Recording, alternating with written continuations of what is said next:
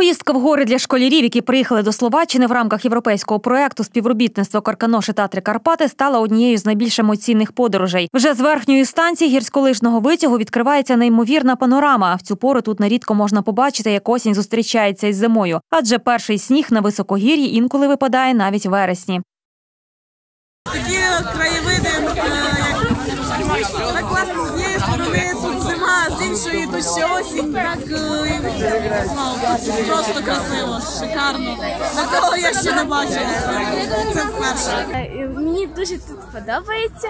Е, Тут дуже красиво вже осінь, а ви вже тут сніг, і мені тут дуже подобається. Рогачі це рай для прихильників пішого туризму та велосипедистів, а ще лижників та сноубордистів. Тут прокладено багато туристичних маршрутів, а головне, тут всюди можна помилуватись унікальними краєвидами.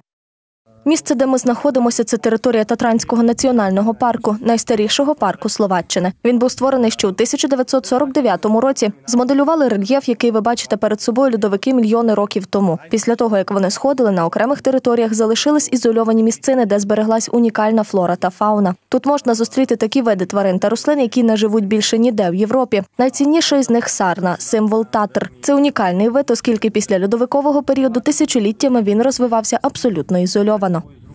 Унікальними видами рослин та тварин опікуються працівники Татранського національного парку. А от про безпеку туристів дбають гірські рятувальники. Їх задача відшукати заблукалих мандрівників та надати допомогу тим, хто травмувався в горах.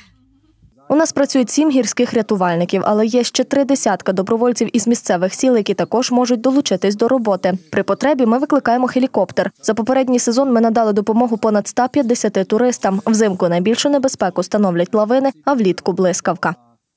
На оснащенні у рятувальників також два позашляховики, кілька скутерів та снігоходи, а ще спеціальні ноші. Для школярів провели майстер-клас, як ними користуватись.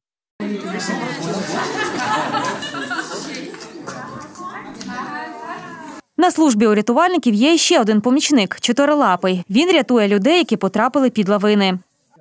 А це наш Ронні. Він може відчути запах людини за 200-300 метрів. Він наш великий помічник. У деяких випадках він дуже допомагає. Щоб люди не забували про небезпеку, яка чатує в горах та в пам'ять тих, хто там загинув, неподалік адміністративного будинку рятувальники створили невеликий меморіальний парк. На кам'яних брилах викарбовані прізвища працівників лісового господарства, які зберігали природні надбання національного парку, людей, які загинули в горах, та рятувальників, які усе своє життя присвятили допомозі іншим.